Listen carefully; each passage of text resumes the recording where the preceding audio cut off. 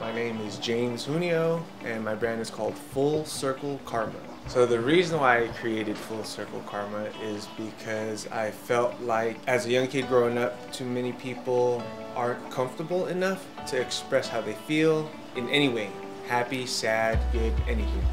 People don't really know how to express themselves so people keep those things inside. I didn't want there to be an issue there, so I just help people, I help inspire people or motivate people to get through their day. Since people don't aren't always open to communicating or saying how they feel or don't again don't know how to express how they are feeling, um, people internalize that and then the issues never really get you know resolved. People just bury those things.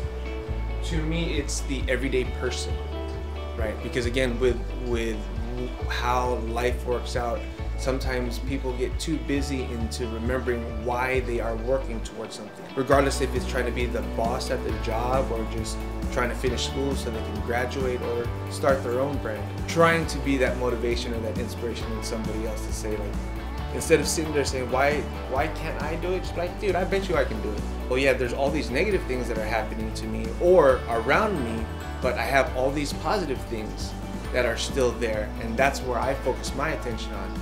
Like for me, it's my son, or you know, your mother, my wife. You know, it's it's those things. It's seeing you guys do you and and and working on yourselves makes me want to do the same thing. It's that energy. It's that full circle karma, right? Like for me to try and tell you how to do something, like when we work out or anything in life, I have to do the same thing It's holding myself accountable. But it's not just making me better or you better, it's both of us.